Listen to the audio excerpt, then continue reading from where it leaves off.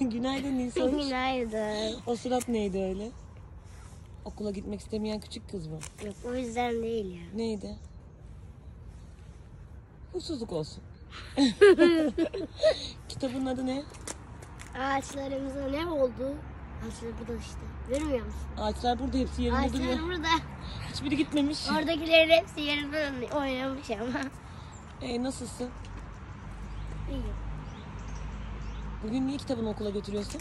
Çünkü en baştaki o şey saatinde kitap okuyoruz. Ben bunu götürmeyi unutmuştum o yüzden ben. Hmm, seni küçük unutkan fare. Dün beden dersine girmedim. E biraz hastaydın. Biraz hızlı yürür müsün? Huysuz kuş. Bugün perşembe. Yarın cuma. Yarın, yarın, yarın gününü çok seviyorum. Çünkü hem koro var hem de resim dersi var. Evet hem de okulun son günü. Evet, cuma günü kalp dersi. Ben de.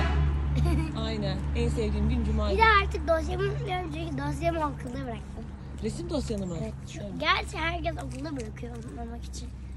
E, mantıklı. Taşımak biraz büyük olduğu Celil için. ben de bir şey demiyorum. Umarım bu arada benim yatağım eee Melodikam daha doğrusu Hı. akıllıdır. İnşallah babanın arabasında değildir. Eee umarım. Babamın Lütfen- arabası da değilmiş. Bugün o zaman şey kolunu çalarsın insan. Melodi koyun. Evet. Neyse benim elimde Kesin battaniye. unutacak ama o kadar eminim. Unutmaz unutmaz inşallah. sürekli unutuyor.